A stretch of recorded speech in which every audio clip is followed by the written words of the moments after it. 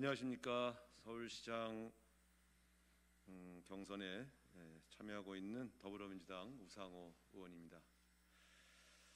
먼저 오늘 박영선 음, 장관님의 생일을 진심으로 축하드립니다.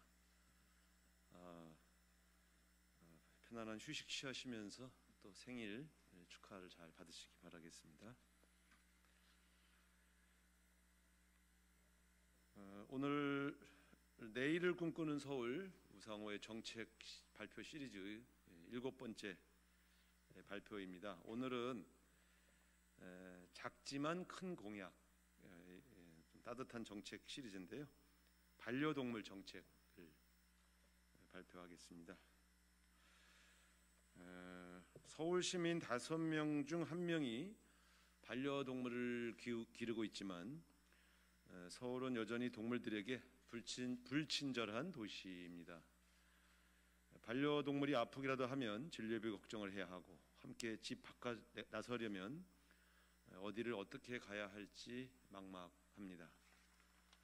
어, 저는 에, 먼저 반려동물을 대하는 음, 가치부터 달라져야 한다고 생각합니다. 에, 더 이상 소유물 개념의 애완동물이 아닌 가족 개념의 반려동물로 정책 대상을 인식하여 사람과 동물이 함께 행복한 서울을 만들겠습니다.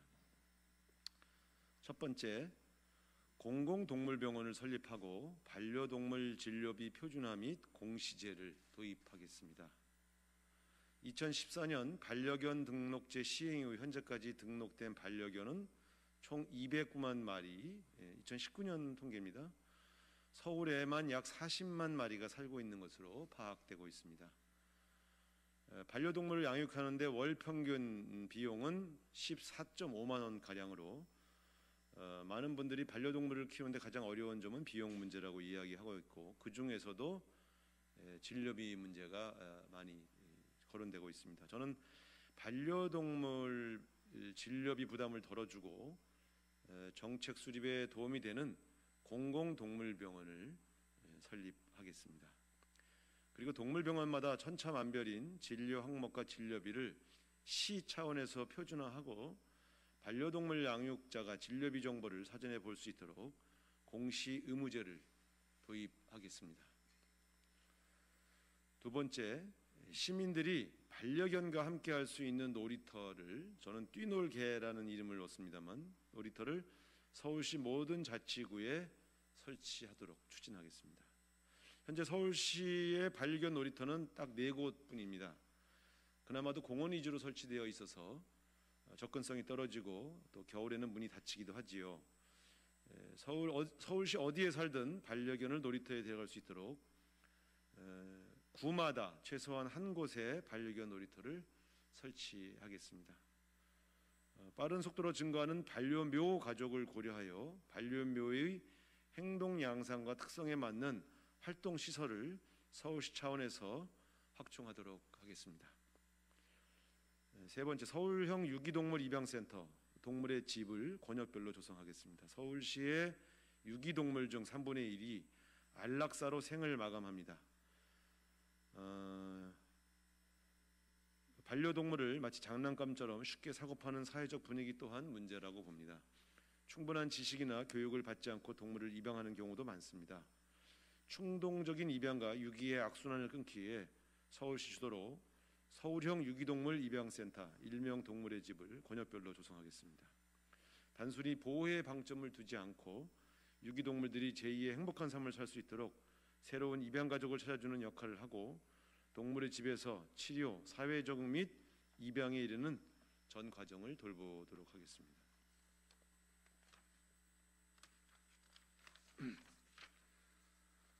다음 네 번째 반려동물의 출입 가능 여부 24시간 동물병원 등 반려견에 특화된 지도 서비스를 어, 제공하여 반려동물과의 동행이 편안하도록 만들겠습니다. 방- 반려동물과 함께 외출하는 데는 여러 가지 어려움이 있습니다. 어, 동물 출입 가능 여부를 확인하려면 일일이 전화로 문의해야 하는 게 현실입니다. 동물병원 같은 중요한 시설에 대한 위치 정보나 운영 시간조차도 제대로 확인하기가 힘듭니다. 저는 서울시의 반려동물 장소 정보를 한 곳에 모아 지도 서비스로 제공하도록 하겠습니다. 반려동물 전용 시설뿐만 아니라 일반 식당이나 카페, 공공 장소 등의 반려동물 출입 가능 여부에 대해 알 수 있도록 통합 정보 서비스를 제공하겠습니다. 다섯 번째 유기동물 재입양과 필수 교육을 연계하고 반려인을 돕는 입양 키트를 제공하겠습니다. 유기동물 입양을 망설이는 예비 반려인들에게 필요한 교육과 키트를 제공하겠습니다.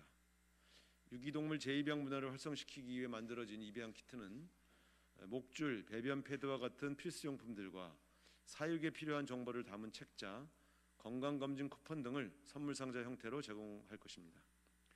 입양 키트를 받기 위해서는 필수 교육 과정을 이수하도록 하여 반려인들의 동물 보호에 대한 책임감을 높일 것입니다. 여섯 번째, 시민과 길고양이가 행복하게 공존할 수 있는 사업을 지원하겠습니다. 어, 서울시 전역에 적지 않은 숫자의 길고양이들이 살고 있습니다. 어, 이 길고양이들을 전부 안락사시키는 것은 적절하지도 않고 현실적으로도 어려운 일입니다. 서울시와 자치구 주관으로 지정 길고양이 급식소를 설치하겠습니다. 또한 길고양이들의 개체수 관리를 위해 분지별 집중 중성화 사업을 지원하여 여러 가지 문제들을 해결하도록 하겠습니다. 살기 좋은 서울은 반려동물을 배려하는 노력에서부터 시작될 것입니다. 반려동물은 가족입니다. 오상호가 인간과 동물이 함께 행복한 서울을 만들어 가겠습니다. 감사합니다.